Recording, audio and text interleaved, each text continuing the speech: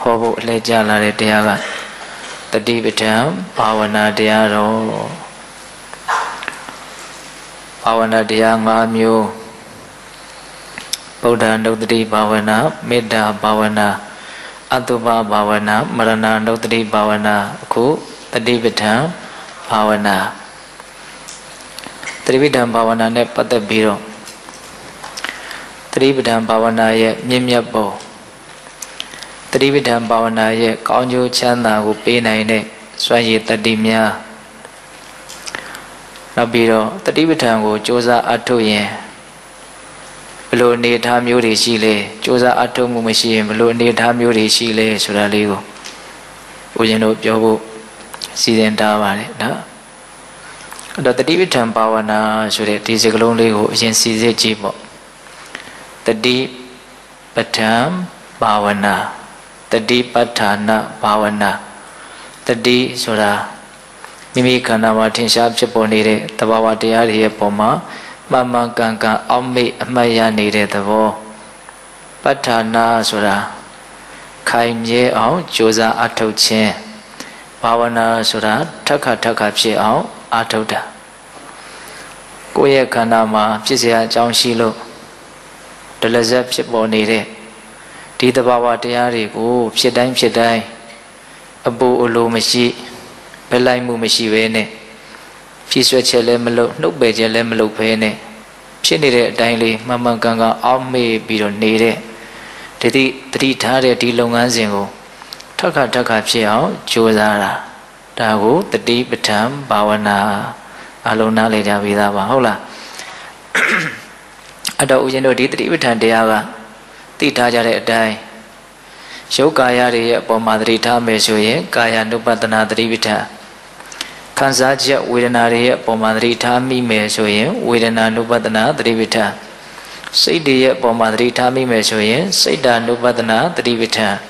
ဓမ္မတဘာဝတွေရဲ့ပုံမှာသတိထားမိမယ်ဆိုလို့ရှိရင်ဓမ္မ ानु ပတနာသတိပဋ္ဌာန်တို့ဒီခန္ဓာမှာဖြစ်ပေါ်နေတာကကာယဝေဒနာစိတ်ဓမ္မဆိုတဲ့ဒီတဘာဝတရားတွေပဲ ဖြစ်ပေါ်နေတဲ့ဒီသဘာဝတရားတွေကိုဖြစ်ပေါ်တိုင်းဖြစ်ပေါ်တိုင်းသတိထားပြီးတော့နေလိုက်ဖို့ပါပဲတော့လူရင်မှတ်ရမှာကဒါပါပဲဟုတ်လားဘာပဲဖြစ်ဖြစ်ဖြစ်တိုင်းသိနေအောင်ကြိုးစားကြရမယ်။ဒီကြိုးစားအထောက်မှုကအလေးအကျင့်မရှိတဲ့အတွက်ကြောင့်ခက်ခဲမှုရှိနိုင်ပါတယ်။များသောအားဖြင့်တရားဓမ္မတို့ဦးဇင်းတို့တွေကဘဝမှာဘလို့နေကြတာတော့ဆိုတော့ဖြစ်နေတာတွေကိုသိပြီးတော့နေတာမဟုတ်ဘူး ဘလို့နေတာတော့ဆိုတော့တွေးနေတာတော့အမြဲတမ်းဘာလို့နေတော့တွေးနေကြတာအဲ့ဒီတွေးနေတာတွေကဘာတွေတွေးတာတော့ဖြစ်ခဲ့တာတွေနဲ့ပတ်သက်ပြီးတော့တွေးမယ်မဖြစ်သေးတာတွေနဲ့ဖြစ်နိုင်ခြေရှိတာတွေနဲ့ပတ်သက်ပြီးတော့တွေးမယ်ဟုတ်လားဖြစ်ချင်တာတွေနဲ့ပတ်သက်ပြီးတော့တွေးမယ်မဖြစ်ချင်တာတွေနဲ့ပတ်သက်ပြီးတော့တွေးမယ်ဒါပဲဒီလိုပဲနေနေတာအဲ့ဒါကိုဘယ်လိုခေါ်တော့မေမေရောရောပေါ့ပေါ့ဆာဆာဖြစ်တယ်လို့နေတယ်လို့ဒီလိုပြောတာအဲ့ဒါလိုနေတဲ့အခါကျတော့ ဘာကယုဆိုင်မှုမှတော့ဘာရည်ရွယ်ချက်မှမရှိဘူးလို့ဆိုနိုင်တယ်မြင့်မြတ်တဲ့ဘက်မှာရည်ရွယ်ချက်မရှိဘူးတော့ငါဘလို့နေမယ်ဆိုတဲ့သတ်မှတ်ချက်လည်းမရှိဘူးကြုံရကြုံရအာယုန်နေနဲ့ကြုံတယ်လို့ပဲနေသွားတာတော့နေခဲ့တဲ့အနေထားလေးကအဲ့ဒီတိုင်းပဲနော်ကြုံရအာယုန်နေနဲ့ကြုံတယ်လို့ပဲနေသွားတာအဲ့ဒီအာယုန်နေနဲ့တွေ့တဲ့အခါမှာကိုယ်စိတ်ထဲမှာသဘောကျစရာလို့ထင်တာတွေရှိတယ်သဘောမကျစရာလို့ထင်တာတွေရှိတယ် အဲ့ဒီအာယုန်တွေရဲ့လှည့်စားမှုကိုခံယူရင်းနဲ့အာယုန်တွေကျိုးဆွဲတာကိုပဲကာပြီးတော့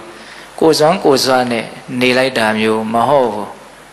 เนาะအာယုန်တွေရဲ့ဆွဲငင်မှုကိုလိုက်ပြီးတော့เนาะစိတ်ကူးပြီးတော့တွေးပြီးတော့နေနေတာအဲ့ဒီမှာဘယ်အာယုန်ကစိတ်ကိုเนาะလှည့်စားမှုအများဆုံးဖြစ်မလဲလို့ဆိုရင်ဓမ္မာယုံပေါ့ဟုတ်တယ်မဟုတ်လားဓမ္မာယုံเนาะဖြစ်ခဲ့တာတွေ အဖြစ်သေးတာတွေစိတ်ထဲမှာအများကြီးပုံပေါ်ပြီးတော့တွေးနေတာရှိတယ်နောက်တစ်ခါတလေမျက်လုံးကြီးဖွင့်နေပြီမလို့ရှေ့ကမြင်မြင်မှမြင်တာကိုယ်အတွေးနဲ့နေတာကိုယ်အတွေးထဲမှာတခြားပုံရိပ်တစ်ခုရှိနေတယ်ဟုတ်လားတခါတလေသူများပြောနေမလို့ကြားချင်မှကြားတာကိုယ်အတွေးနဲ့ကိုယ်နေတာကိုယ်အတွေးထဲမှာအခြားအတန်တွေရှိခြင်းရှိနေနိုင်တယ်ဒါပါလေလေလို့မေးရင်ဓမ္မယုံနေပေါ့ဒါတွေနဲ့ပဲနေတာအဲ့ဒါတွေကိုပဲအမျိုးမျိုးသတ်မှတ်ချက်တွေနဲ့ နော်နှစ်နှစ်လှလှဘဘဝဘဝကမှတ်သားခဲ့တဲ့တင်ညာတွေရဲ့လွှမ်းမိုးမှုနဲ့နေကြတာပေါ့နော်အဲ့တော့အခုနေတာကအဲ့ဒီနေနည်းနဲ့စန့်ကျင်ပြီးတော့ဖြစ်နေတာကိုသိပြီးတော့နေရမယ်ဆိုတော့နေသားတကြမရှိဘူးပေါ့နော်ဟုတ်လားဒါကြောင့်တရားအထောက်ရတာစိတ်တွေကလည်းပြန်လွတ်လိုက်တာအစဉ်ကလည်းပြေခဲ့လိုက်တာဆိုတာအဲ့ဒါပဲအဓိကကဟုတ်လားစိတ်ကသူနေနေကြအတိုင်းလေးပဲနေကျင်တာ အကုန်လုံးကတဘာဝတရားတွေကြီးပဲနော်ပုဂ္ဂိုလ်တ attva လည်းမဟုတ်ဘူးငါလည်းမဟုတ်ဘူးသူလည်းမဟုတ်ဘူးငါအစွမ်းသူအစွမ်းဓာတ်တွေဘာမှမရှိဘူးဖြစ်เสียရှိတဲ့အတိုင်းဖြစ်နေတာကိုကမိမိရောရောပေါ့ပေါ့ဆဆနေတဲ့အလေးကျင့်တွေများနေမယ်အကောင်းနေမယ်ဆိုရင်အဲ့ဒါကြီးကအရှိန်နဲ့သွားနေမှာပဲဟုတ်လားတတိလေးနဲ့နေတဲ့အရှိန်အကောင်းမယ်ဆိုလို့ရှိရင်အဲ့ဒါလေးကလည်းအရှိန်နဲ့သွားနေမှာပဲနော်ဒါကြောင့်တတိပဋ္ဌာန်ဘာဝနာတရားဆိုတာ တော့နေနေကြအနေအထားမျိုးကနေဖောက်ထွက်ပြီးတော့နေတာတော့ထူးထူးဆန်းဆန်းကြီးတော့လည်းမဟုတ်ပါဘူးအလွန်ရိုးရှင်းပါလေ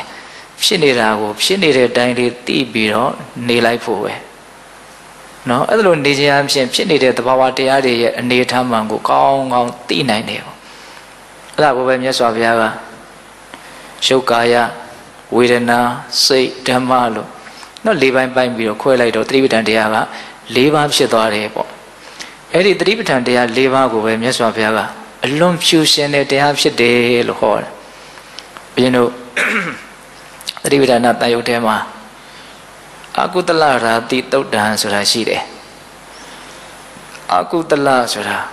အကုသိုလ်ပေါ့ရာတိဆိုတာအစုအပေါ်အကုတလရာတိတိဘိခဝေဝရမာနောပင်စနိဝရဏေတမ္မာဝတ္တမာနောဝရေယယဟန်တို့တဲ့ အကုသိုလ်အစုအပုံကြီးလို့ကောင်းကောင်းမွန်မွန်ပြောကျင်တယ်ဆိုလို့ရှိရင်နိဝရဏတရား၅ပါးကိုအကုသိုလ်အစုအပုံကြီးလို့ပြောလိုက်ပါတဲ့ကေဝလောဟာယံဘိခဝေအကုတလရာတိပင်စနိဝရဏ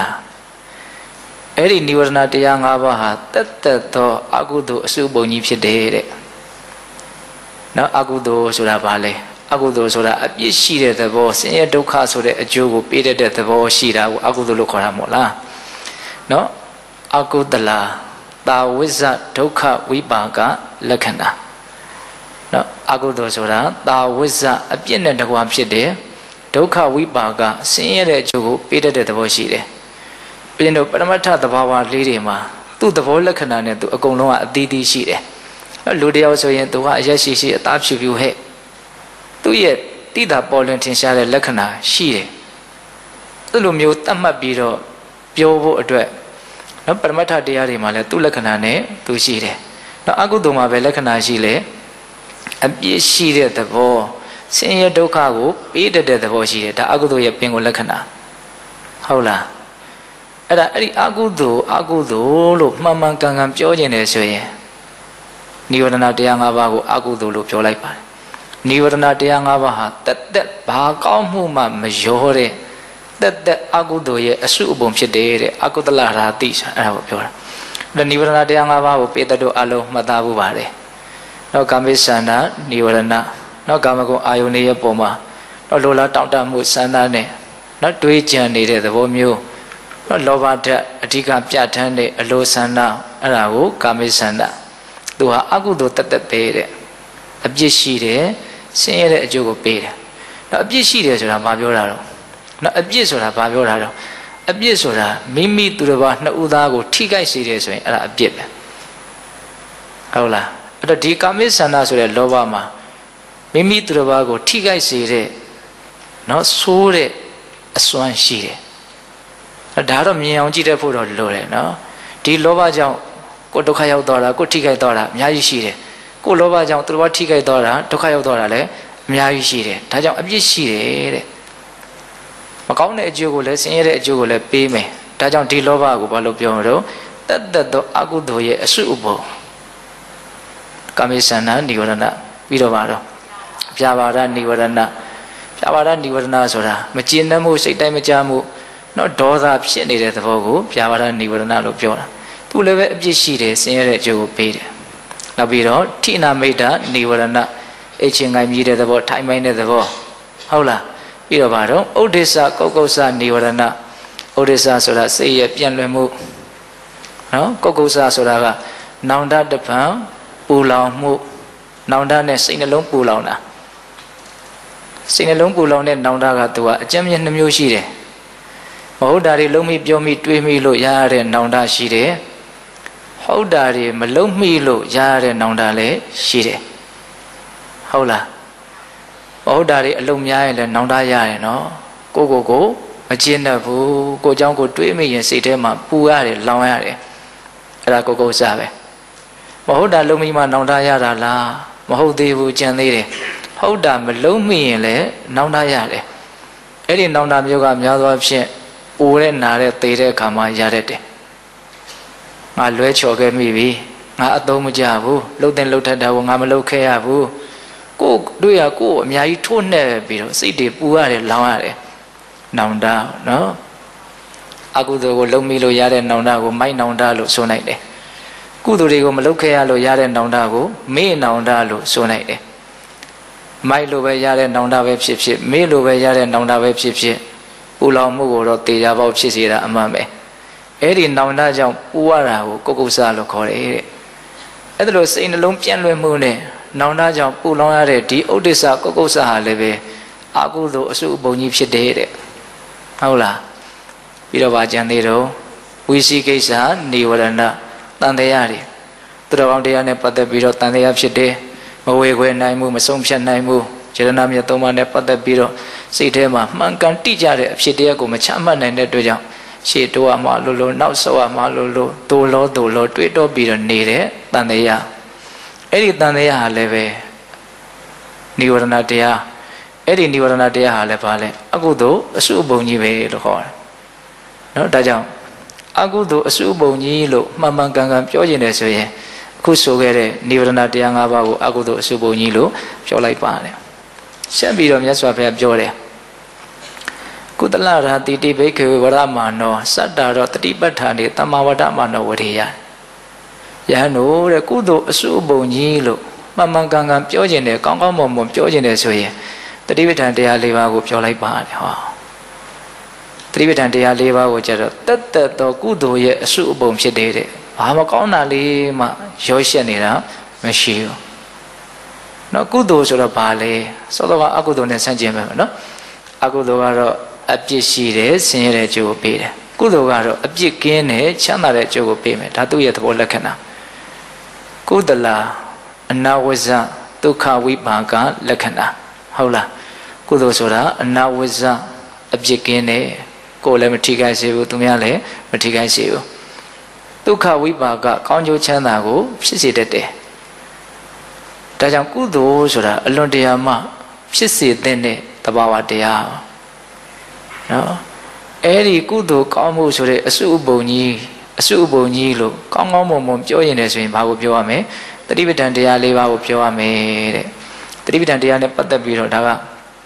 အလွန်မှအာရကျင့်တတ်စရာကောင်းတဲ့ဟောပြောချက်ပေါ့နော်ဒီတော့မိမိခန္ဓာမှာဘာပဲဖြစ်ဖြစ်တတိထားလိုက်မိတယ်ဆိုရင်အဲ့ဒီတတိထားလိုက်မိတဲ့အခိုက်အတန့်လေးမှာအလွန်တန်ရှင်းစင်ကြယ်တဲ့ကုသိုလ်ကောင်းမှုတတ်တက်ကလေးဖြစ်သွားတယ်ဟော တခါတလေကုသိုလ်လုပ်ရင်းနဲ့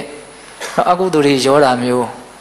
တော့စိတ်ညစ်စရာစိတ်ရှုပ်စရာတွေကြုံရတာမျိုးတော့တခြားတခြားသောကုသိုလ်တွေမှာတခါတလေရှိတတ်တယ်ဟုတ်ရဲ့လားဒီတတိထားတဲ့လုပ်ငန်းစဉ်ကတော့ဘာအကုသိုလ်မှရောစရာအကြောင်းမရှိဘူးเนาะအလုံးဖြူရှင်းတယ်အလွန်တန်ရှင်းတယ်တတိထားလိုက်ခြင်းကိုကအပြစ်ကင်းသွားပြီ ကောင်းကျိုးချမ်းသာကိုပေးဖို့အတွက်အခြေအနေတရက်ဖန်တီးပြီးသားဖြစ်သွားတယ်ဟုတ်လားဒါကြောင့်တတိပဋ္ဌာန်ရဲ့စွန့်ရည်တတိနော်ယုတ်ကာယရဲ့အပေါ်မှာပဲတတိထားထားခံစားချက်ဝေဒနာရဲ့အပေါ်မှာပဲတတိထားထားနော်စိတ်တွေရဲ့အပေါ်ဓမ္မတွေရဲ့အပေါ်မှာပဲတတိထားထားတတိထားတဲ့နေပယ်ကတော့ဒီခန္ဓာမှာဖြစ်သမျှသဘာဝတရားတွေအကုန်လုံးဟာတတိထားစရာနေပယ်ကြီးပါပဲဟုတ်တယ်မို့လားခုတနေ့ကအတုပဘာဝနာယာမှာပြောခဲ့တဲ့ နော်ဆံပေမွေးခြင်းခြေသီးလက်သီးအစရှိတဲ့32ခုထာတာဟာလည်းပဲတတိထားတွေကနေပယ်တစ်ခုပဲနော်သူ့ကိုလည်းပဲကာယကတတတိဆိုပြီးတော့နေပယ်တစ်ခုအနေနဲ့မြတ်စွာဘုရားသတ်မှတ်ပေးတာနော်အဲ့တော့ပြောရင်တာကတတိပဋ္ဌာန်တရားသည်ကုသိုလ်ကောင်းမှုတက်တက်ဖြစ်တယ်ဆိုတာလေးကိုစိတ်ထဲမှာစွဲစီခြင်းတာဟုတ်လားဆက်ပြီးတော့ဥစဉ်ဘာပြောမလို့နော်ပေတတို့အလွန်နားယူဝနေတဲ့တတိပဋ္ဌာန်တရားရဲ့ဂုံကျေးဇူး အဲ့ဒါကိုပြောမယ်အဲ့ဒါစိတ်ထဲမှာစွဲနေစေခြင်းတယ်တတိပဋ္ဌာန်တရားရဲ့ဂုံကျေးဇူးကိုစိတ်ထဲမှာစွဲနေခြင်းအဖြစ်အာအကျိုးကျေးဇူးရှိတော့အမှတ်ရလိုက်တဲ့အမှတ်ရလိုက်တိုင်းတတိပဋ္ဌာန်တရားကလွယ်လို့တခြားအကိုရမရှိဘူးဆိုတဲ့အတွေးမှန်အမြင်မှန်ကိုရနိုင်တယ်ဟုတ်လားတတိပဋ္ဌာန်တရားရဲ့ဂုံကျေးဇူးဘယ်နှမျိုးလဲခုနှစ်မျိုးမြတ်စွာဘုရားဟောတယ်မဟာတတိပဋ္ဌာန်သုတ်တန်ကြီးမှာအလုံးနာယူဝနေမယ်လို့ဦးဇင်းထင်တယ်နော် ဧကာယနောယံဘိခဝေမေဃောတတ္တနဝိတုဒ္ဓိယတောကပရိဒေဝနာတမတိတ်ကမာယဒုက္ခဒေါမနတနာအထင်ကမာယညာယတအဓိကမာယနိဗ္ဗာနတတစ္ဆိကိရိယာယယရိဒံစတ္တရောတတိပဋ္ဌာနာမဟာတတိပဋ္ဌာနာတုတ်တန်ကြီးဟိုမြတ်စွာဘုရားဟောပြီဆိုတော့တတိပဋ္ဌာန်တရားကိုဘလို့စ조사ရတယ်ဘလို့အားထုတ်ရတယ်ဆိုတာကိုဘာမှမပြောသေးခင်မှာအခုငါသင်ပြပေးမယ်အဲ့ဒီတတိပဋ္ဌာန်တရားကိုအားထုတ်မယ်ဆိုလို့ရှိရင် ဟောဒီလိုအကျိုးကျေးဇူးတွေရနိုင်တယ်လို့အကျိုးကျေးဇူးကိုအရင်စပြီးတော့မြတ်စွာဘုရားဟောတာအကျိုးကျေးဇူးကိုအရင်ပြောတာနော်အဲ့ဒါကိုတက္ကရာဆရာကြီးကဘလို့ဖွင့်ပြတော့နော်ကဗလာရောင်းတဲ့ကဗလာကုံတယ်နော်ကဗလာအဝတ်အထည်ကိုရောင်းတဲ့ကဗလာကုံတယ်ကသူ့ရဲ့ကဗလာကိုရောင်းတဲ့အခါမှာဒီကဗလာကဘလို့နုညံ့ပါတယ်ဘလို့တိမ်မွေ့တာဘလို့အည်သွေးရှိတာဘလို့လှတာဘလို့အည်သွေးကောင်းတာလို့သူ့ရဲ့ကဗလာကိုဘာလို့ရတော့ကြော်ညာရတယ်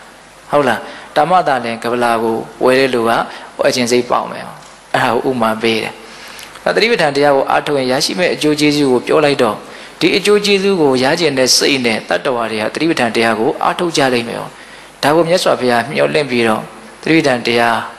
ဟောတဲ့နေရာမှာအကျိုးကျေးဇူးကိုအရင်စပြီးတော့ဟောပြတာ။ဒါကြောင့်ဒီအကျိုးကျေးဇူးတွေကစဉ်းစားသင့်တယ်ပေါ့နော်။အဲ့ဒါပထမအကျိုးကျေးဇူးကဘာပြောတာတော့ နော်ဧကာယနောယံဘိခဝေမေခောတတ္တနာဝိတုဒ္ဓိယတတ္တနာတတ္တဝါတို့ရဲ့ဝိတုဒ္ဓိယစိတ်သက်ဖြူရှင်တန်ရှင်းသွားခြင်းဆိုတဲ့အကျိုးကျေးဇူးကိုရရှိဖို့အတွက်အယံမေခောဟောဒီတတိပဋ္ဌာန်ဆိုတဲ့လမ်းစဉ်ဟာဧကာယနောတကြောင်ဒီသောလမ်းဖြစ်တယ်တဲ့နော်ဧကာယနာဆိုတဲ့စကလုံးလေးနဲ့ဟောတာနော်ဧကာယနာဆိုတာတကြောင်လေးသောလမ်းနော်လမ်းနှစ်လမ်းမရှိဘူးဆိုလိုတာက စိတ်ဓာတ်ဖြူရှင်တန်ရှင်းဖို့အတွက်တခြားကျင့်သုံးစရာနီလန်မရှိပါဘူးလို့ပြောတာဒီတနည်းပဲရှိတယ်လို့ပြောတာပစစ်မှန်တဲ့တရားအထုတ်ခြင်းမှန်သမျှသည်တတိပဋ္ဌာန်ဘာဝနာတွေကိုအကျုံးဝင်တာကြီးပဲအကုန်လုံးဟာတတိပဋ္ဌာန်နေကြီးပဲတကယ်တမ်းကသဘောပေါက်ရဲ့လားဘယ်တရားအထုတ်နည်းပဲဖြစ်ဖြစ်တတိပဋ္ဌာန်ပဲတတိပဋ္ဌာန်နဲ့အကျုံးမဝင်မှုဆိုရင်လည်းပဲအဲ့ဒါတရားအထုတ်နည်းစစ်မှန်တဲ့နည်းမဟုတ်သဘောပေါက်ရဲ့လားအေးဒါကြောင့်မြတ်စွာဘုရားက တတ္တဝါတို့ရဲ့စိတ်သက်ဖြူရှင်တန်ရှင်းသွားဖို့အတွက်ဟောဒီတတိပဋ္ဌာန်ဆိုတဲ့လမ်းကြောင်းဟာရှောက်လှမ်းရမယ့်တကြောင်တည်းသောလမ်းဖြစ်တယ်လို့ပြောတာအဲ့တော့ဆိုလိုတာကတတိပဋ္ဌာန်တရားကိုအားထုတ်ရင်စိတ်သက်ဖြူရှင်တန်ရှင်းသွားမယ်လို့ပြောတာပဲစိတ်သက်ဖြူရှင်တန်ရှင်းခြင်းဆိုတဲ့အကျိုးကျေးဇူးကအလွန်ပဲမောစရာကောင်းတဲ့အကျိုးကျေးဇူးလို့ထင်ပါတယ်နော်အပေါ်ယံပဲတွေးတွေးလေးလေးနက်နက်ပဲတွေးတွေးလေးလေးနက်နက်တွေးမယ်ဆိုရင်လည်းပဲစိတ်ဓာတ်ကဖြူရှင်တန်ရှင်းမှုဝိတ္တုဒ္ဓိရှိမှ ဒီစိတ်ကကိလေသာကနေလွတ်မြောက်မှုဝိမု ക്തി ဆိုတာဖြစ်နိုင်တာဟုတ်လားစိတ်တက်မဖြူစင်မဲနဲ့လွတ်မြောက်မှုဆိုတာမရနိုင်ဘူးဒါကအမြင်မာဆုံးအနေအထားကိုပြောတာပေါ့နော်ဘုရင်တို့အပေါ်ရန်ကြည့်မယ်ဆိုလို့ရှိရင်ပဲလူတယောက်ရဲ့တန်ဖိုးကဘာလဲစိတ်တက်ဖြူစင်တန်ရှင်းမှုပဲဟုတ်တယ်မဟုတ်လားယူသားဖို့ပဲဖြောင်းမဖို့ပဲစိတ်ရဲ့မလိုလားအပ်တဲ့အညစ်အကြေးတွေနည်းဖို့ပဲစိတ်ရဲ့အညစ်အကြေးတွေကဘာတော့အလိုဆန္ဒတွေမကျေနပ်မှုတွေမနာလိုမှုတွေဝန်တိုမှုတွေ ရှင်ပြိုင်မှုတွေဟုတ်တယ်မဟုတ်လားအဲ့ဒီအောက်တန်းကြတဲ့ယုံရင်ကြံတန်းတဲ့စိတ်ဓာတ်တွေရှိနေတယ်ဆိုလေအဲ့ဒီပုဂ္ဂိုလ်ရဲ့တန်ဖိုးမဲလေလေပဲဟုတ်တယ်မဟုတ်လားစဉ်းစားကြည့်နော်အဲ့တော့တကယ်တကယ်လူတွေတယောက်တယောက်တန်ဖိုးထားတယ်ကိုကိုကိုတန်ဖိုးထားတယ်ဆိုတဲ့နေရာမှာလည်းပဲစိတ်ဓာတ်ဖြူရှင်တန်ရှင်းလေလေတန်ဖိုးထားနိုင်လေလေပဲကိုကိုကိုလည်းအဲ့ဒီအတိုင်းပဲကိုစိတ်ဓာတ်ကြီးအလည်းညစ်ပတ်နေတယ်ဆိုရင်သိပ်ပြီးတော့မကြိုက်ဘူးတွေးမိရင်မကြိုက်ဘူးတော့သူများကဘယ်လိုလဲမကြိုက်ဘူး နော်လောဘသိကြီးတယ်လူသားတယောက်အနေနဲ့လောဘကတော့ရှိကြတာပေါ့သို့တော့ရှိတဲ့ရှိလိုက်တဲ့လောဘတဲ့ပိုးကြီးလာပြီလောဘကြီးကတော်တော်ကိုပဲတိတာထင်ရှားနေပြီဆိုရင်ဘလို့ဖြစ်သွားတော့မုန်းသွားတယ်ဗျဟုတ်တယ်နော်အဲ့လိုပဲဦးဇင်းတို့ဒေါသပါမဟုတ်ဘဲနဲ့ပဲစိတ်ဒုံနေတယ်အမြဲတမ်းစိတ်ဒုံနေတယ်ဆိုရင်ဘာဖြစ်တော့မကြိုက်ဘူးအဲ့ဒီဥစ္စာအဲ့တော့ကိုယ်ကလည်းစဉ်းစားပေါ့သူများရဲ့စိတ်ဓာတ်ကြီးအောက်တန်းကြတယ်အဲ့လိုကြမ်းတမ်းယုံရင်းနဲ့ဆိုရင်မကြိုက်တယ်လို့ကိုယ်စိတ်တကြီးယုံရင်ကြမ်းတမ်းတယ်ဆိုရင်လည်းကိုယ်နိစ္စရပတ်ဝန်းကျင်ကကိုယ့်ကိုကြိုက်မှာမဟုတ်အဲ့လူတွေဟာတယောက်နဲ့တယောက်တန်ဖိုးထားပြီးတော့ဆက်ဆံတယ်ဆိုတာအဓိကကအဲ့ဒီစိတ်ကလေးကိုကြည့်ပြီးတော့ဆက်ဆံကြတာရေရှည်မှာအဲ့ဒါပဲတော့အစကတူတွေ့ရတာတော့ရုပ်ရည်သွင်းပြင်ကိုတွေ့ရတာပေါ့နော်အဲ့ဒါနဲ့ပေါင်းတဲ့ဆက်ဆံကြတယ်နောက်ကြတော့ဒီစိတ်ကတဖြည်းဖြည်းနဲ့လူအကြောင်းပါလဲပေါင်းတော့သိလာတာပေါ့ဟုတ်လားပေါင်းလို့သိလာပြီဆိုတော့ဟဲ့စိတ်ကြီးကလည်းဘလို့ကြီးတော့ရုပ်ကိုမပြောတော့ဘူးနော်အဲ့ဒီကြတော့ ရုပ်ကသိအရေးမပါတော့ဟုတ်လားအဲ့ဒီစိတ်ကိုမကြိုက်တာနဲ့ပဲတချို့တယောက်နဲ့တယောက်ဘာဖြစ်သွားတော့ပွဲသွားကြရောရုပ်ကြီးကတော့ဒီရုပ်ဒီရုပ်ပဲနော်ဒါပေမဲ့ဘာလို့မကြိုက်လို့ဖြစ်သွားတော့စိတ်ကိုမကြိုက်တာအဲ့တော့စိတ်တက်ဖြူစင်တန်ရှင်းမှုကိုလူတွေဘလောက်အရေးထားလဲဆိုတာကိုတတိယပြီးတော့ကိုယ့်ရဲ့စိတ်တက်ကိုဖြူစင်အောင်ကြိုးစားရမှာဒါဟိုသူများကမျက်နှိုးဖို့အတွက်ဆိုတဲ့ရည်ရွယ်ချက်နဲ့ကြိုးစားခိုင်းတာမဟုတ်ပါဘူးလောကမှာဖြစ်တတ်တဲ့သဘောကိုပြောပြတာဟုတ်လား အဲ့တော့ဦးဇင်းတို့မြတ်စွာဘုရားဟောထားတာလေအဲ့ဒီတိုင်းပဲနော်တတ္တဝါတွေရဲ့စိတ်ဓာတ်ကိုကြည့်ပြီးတော့တတ္တဝါတွေကမျက်နှိုးကြတယ်မမျက်နှိုးကြဘူးတံပိုးထားကြတယ်တံပိုးမထားကြဘူးဆိုတာဖြစ်သွားတာပဲနော်ဒါကြောင့်ကိုယ့်ရဲ့စိတ်ကလေးကိုဖြူစင်တန်ရှင်းအောင်အပြစ်ကင်းအောင်ကြိုးစားရမယ်ရောနော်စိတ်ဓာတ်ဖြူစင်တန်ရှင်းမှုဆိုတဲ့အကျိုးကျေးဇူးကိုနော်အလေးနဲ့ပဲတွေးတွေးအပေါ်ယံပဲတွေးတွေးသူဒီတံပိုးအကြီးမားဆုံးလို့နားလဲရမှာကိုဆိုကြပါစို့တတ္တဝါတွေကို အစင်အတန်းပိုင်းခြားတဲ့နေရာမှာဘယ်လိုပိုင်းခြားတော့နော်ဒုက္ကတိဘုံလို့ပိုင်းခြားတယ်ပိဋ္ဌာန်နေအဘယ်သူအဘယ်သားအဘယ်ဘုံသားတွေဟုတ်လားလူဘုံပိုင်းခြားတယ်အဲလူဘုံမှာလဲဘယ်လိုပြောတော့သူကြတော့သူကတိဘုံဟုတ်လားအဲ့ဒီမှာဦးဇင်းတို့သူကတိမှာလည်းပဲနော်ဒွိဟိတ်ရှိတယ်တိဟိတ်ရှိတယ်ဒွိဟိတ်ဆိုတာဘာတော့နော်အလောဘအဒေါသ နော်ဟိတ်နှစ်ပါးပေါ့နော်ဟောငါတိဟိတ်ကြတော့အလောဘအဒေါသအမောဟအတိညာမှာပါလာတယ်နော်စိတ်ရဲ့အည်သွေးမြင့်လာတာကိုကြည့်ပြီးတော့တိုင်းတာဟုတ်လားနော်နောက်ပြီးတော့ဦးဇင်းတို့လူတွေရဲ့အစဉ်အတန်းကိုအကျဉ်းမြင့်ဘလို့ပိုင်းမယ်တော့ပုထုဇဉ်ရဲ့အရိယာရဲ့လို့ပိုင်းတယ်နော်ပုထုဇဉ်မှာလည်းပဲအန္တပုထုဇဉ်ရှိတယ်ကလျာဏပုထုဇဉ်ရှိတယ်ဟုတ်တယ်မို့လားအန္တပုထုဇဉ်ကဘယ်မှာရှိတော့အောက်ခြေမှာရှိတယ်သူ့အထက်မှာကလျာဏပုထုဇဉ်ရှိတယ် သူ့အထက်မှာနော်တောတာပန်ရှိမယ်သဗ္ဗရာဂန်ရှိမယ်အနာဂန်ရှိမယ်ယန္တာရှိမယ်ဒါလူအစဉ်တမ်းပဲတကယ်တမ်းကဟုတ်လားအဲ့ဒီအစဉ်တမ်းကိုဝေဖန်ကြည့်လိုက်လေဗျာဘာလို့ထားတာတော့စိတ်အနေထားကိုကြည့်ပြီးတော့ပဲပိုင်းခြားထားတာဟုတ်လားအန္တပုထုဇဉ်တဲ့ဘာမှမှန်မှန်ကန်ကန်မသိဘူးသူသိတာကတော့ရှိဖို့ရဖို့နောက်လူလောကကြီးဘလို့နေဖို့ဒီလောက်ပဲသိတာ ဒါတွေဟာပုဂ္ဂိုလ်တ attva သဘောမဟုတ်ဘူးဓမ္မသဘာဝတွေဖြစ်တယ်လို့အဲ့လိုလေးနဲ့တဲ့အပိုင်းခန္ဓာရဲ့အကြောင်းကိုသိတဲ့အပိုင်းကျတော့ဘာမှမရှိဘူးအဲ့မျိုးမရှိတာကိုဘာခေါ်တော့အန္တပုထုဇဉ်လို့ခေါ်တယ်ယုံမှမသိနာမှမသိဟုတ်လားသဘာဝတရားတွေရဲ့အကြောင်းဘာမှနားလည်ဖို့အတွက်စိတ်မဝင်စားဘူးအန္တပုထုဇဉ်နော်ကလျာဏပုထုဇဉ်ကျတော့အဲ့ဒါထက်ပိုပြီးတော့မြင်မသွားတယ်နော်သဘာဝတရားတွေလို့သိတယ်သိအောင်လဲကြိုးစားတယ်အိဋ္ဌဒုက္ခအနတ္တသိခြင်းနဲ့သိအောင်ကြိုးစားတယ်ဒီအနေထားမျိုးကိုဘာလို့ခေါ်တော့ကလျာဏပုထုဇဉ် နောက်ဆုံးတစ္ဆာလေးပါးကိုထွန်းဖောက်ပြီးတော့သိသွားပြီနော်တက္ကာယဒိဋ္ဌိဆိုတဲ့အငြိအကျေးကင်းသွားပြီဝိသိကိစ္စဆိုတဲ့အငြိအကျေးကင်းသွားပြီအိတ်တမစ္စရိယဆိုတဲ့အငြိအကျေးကင်းသွားပြီဆိုဘာဖြစ်သွားခေါ်တော့သောတာပန်ဖြစ်သွားတယ်ခေါ်အစဉ်တန်းဘာဖြစ်သွားမြင့်သွားတာစိတ်တက်ရဲ့အငြိအကျေးထူပြောလေလေတတ္တဝါရဲ့အစဉ်တန်းနှိမ့်လေလေနော်စိတ်တက်ရဲ့အငြိအကျေးပါလေလေတတ္တဝါရဲ့အစဉ်တန်းမြင့်လေလေပဲဒါပဲတဲ့ ဟုတ်လားဒါကြောင့်ကိုယ့်ရဲ့စိတ်ဓာတ်ကိုအစဉ်တည်းမြင့်နေတယ်ဆိုရင်အငြိအကြီးနည်းအောင်လုပ်ရမယ်ပေါ့နော်အဲ့ဒါဒီတတိပဋ္ဌာန်ဆိုတဲ့လမ်းစဉ်ကအငြိအကြီးကိုနည်းုံနဲ့မကောက်ဘူးလုံးဝဖြူစင်သွားသည့်အထိ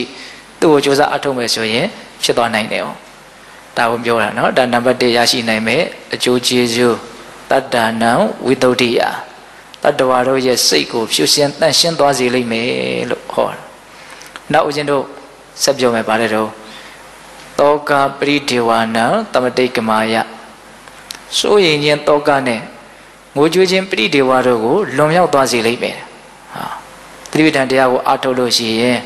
စိုးရင်စရာနဲ့တွေ့လဲမစိုးရင်မှုငိုကြွေးစရာနဲ့တွေ့လဲမကွန်ကြွေးဘူးလို့ဆိုတဲ့အလွန်ရင့်ကျက်တဲ့အနေအထားကိုရှောက်သွားနိုင်တယ်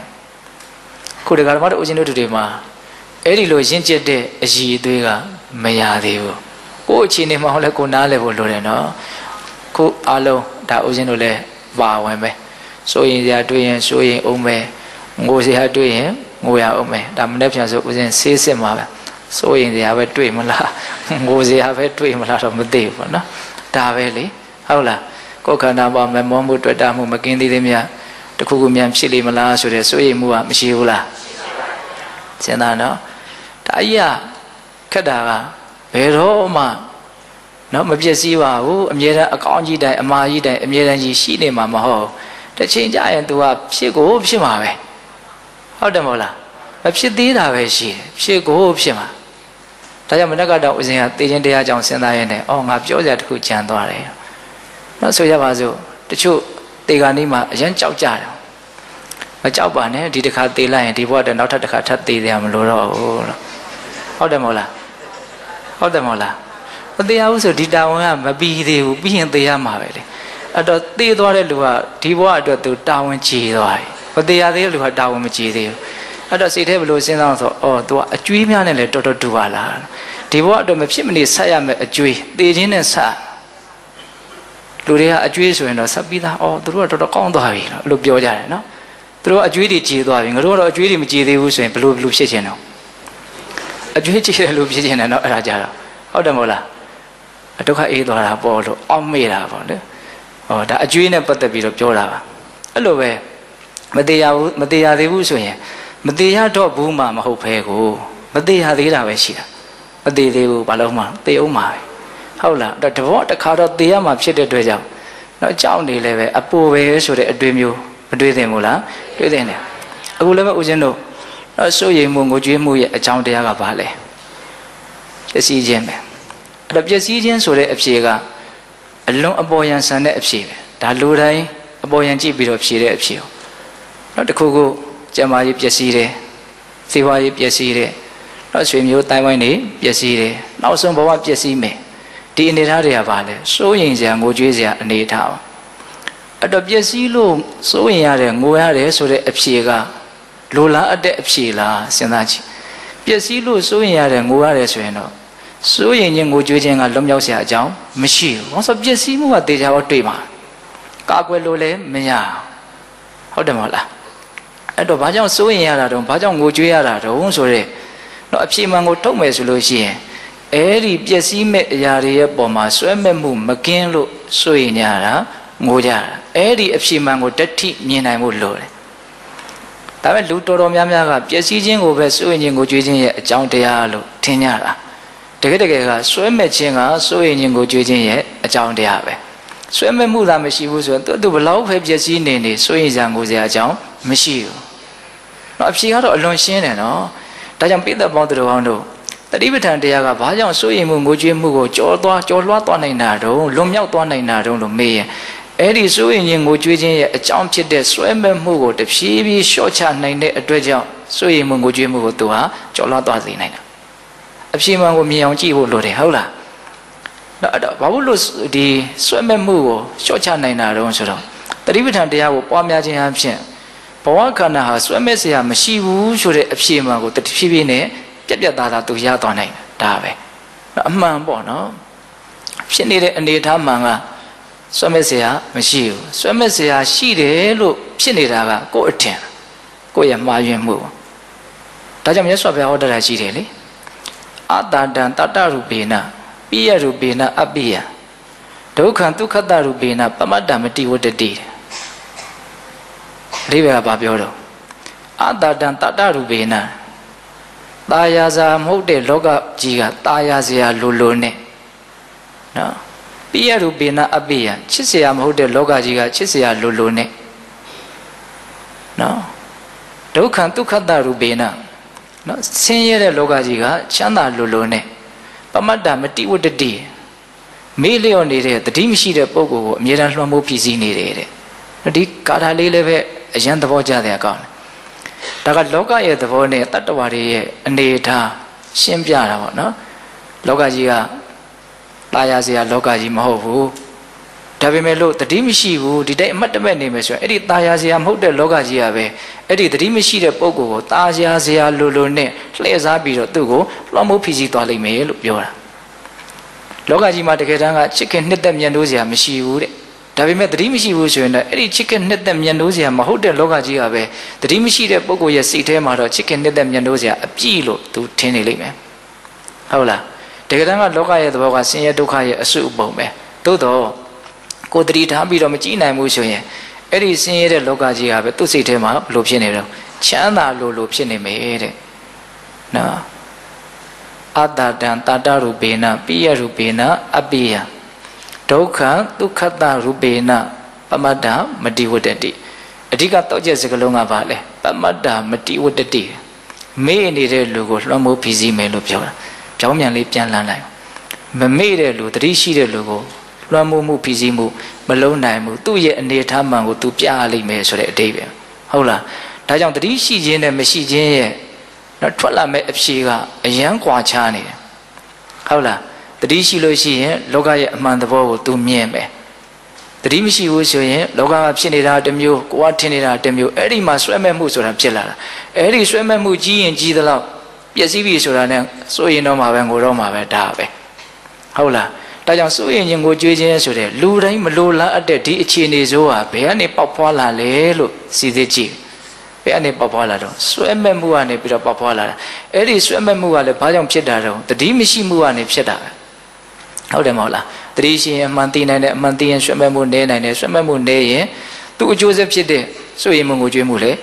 နည်းနိုင်တယ်ပေါ့အဲ့လိုလေအကြောင်းအကျိုးခွင်းဆက်ကလေးတော့ချိတ်ဆက်မိအောင်နားလည်ဖို့မလိုဘူးလားလိုတယ်ဒါတတိပဋ္ဌာန်ဘာဝနာရဲ့ စွန့်ရည်တက်တည်ပေါ့ကိုယ့်ကိုယ်ပဲလှုပ်ယူရမှာနော်ဒီအည်တွေကဟုတ်လားနောက်ဦးဇင်းတို့လေးခုမြောက်နဲ့ငါးခုမြောက်ပြောထားတဲ့အကျိုးကျေးဇူးကပါတယ်တော့ဒုက္ခဒေါမနတန္တအထင်ကမာယတဲ့ဟုတ်လားကိုယ်ဆင်းရဲခြင်းဒုက္ခနဲ့စိတ်ဆင်းရဲခြင်းဒေါမနတတရားတို့ကိုအထင်ကမဆိုတာချုပ်ငိမ့်သွားတာပြောချုပ်ငိမ့်သွားစေလိမ့်မယ်တဲ့တတိပဋ္ဌာန်တရားကိုအားထုတ်ရင်ကိုယ်ဆင်းရဲခြင်းဒုက္ခနဲ့ စိတ်ဆင်းရဲခြင်းဒေါမနတကိုချုပ်ငိမ့်သွားစေလိမ့်မယ်တဲ့ဒါကအမြင့်မားဆုံးအနေထားနဲ့ပြောရမယ်ဆိုလို့ရှိရင်ယန္တာဖြစ်ပြီးဆိုရင်ယန္တာဖြစ်ပြီးဒီအခြားမဲ့ပြိဋိဘံစံသွားပြီးရှုတိစိတ်ရဲ့အခြားမဲ့မှာဘာဒုက္ခမှဖြစ်စရာကြောင်းမရှိတော့ဘူးနော်အနာဂံဖြစ်သွားပြီဆိုရင်အနာဂံဖြစ်ပြီးတာနဲ့ဘာဒေါမနတမှဖြစ်စရာကြောင်းမရှိတော့ဘူးနော်ဒေါမနတဝေဒနာလုံးဝချုပ်သွားပြီနော်ဒေါမနတဝေဒနာဆိုတာဒေါသဖြစ်မှသာဖြစ်နိုင်တာကို အနာဂံဖြစ်သွားပြီဆိုဒေါသကအမြင့်ပြတ်ပယ်လိုက်ပြီကိုဟုတ်လားအေးအဲ့တော့ဒုက္ခဒေါမနတချုပ်တယ်ဆိုတာကအဲ့ဒါအဆုံးစွန်ပေါ့နော်တတိပဋ္ဌာန်တရားကိုအားထုတ်လို့ရှိရင်အဲ့ဒါလိုမျိုးကိုကမဲ့ညံပူညံနေမရသေးလို့နောက်ဘုဒ္ဓရှင်ဘဝနဲ့ပဲဆက်ပြီးတော့ကျင့်လဲကျက်စားနေရတဲ့အခါမျိုးမှလည်းပဲတတိပဋ္ဌာန်တရားကိုအားထုတ်ထားရင်အားထုတ်ထားသလောက်အဲ့ဒီဒုက္ခဒေါမနတတွေနေပါသွားစေနိုင်တယ်လို့ဒါကိုလည်းပဲနားလည်ဖို့လိုတယ်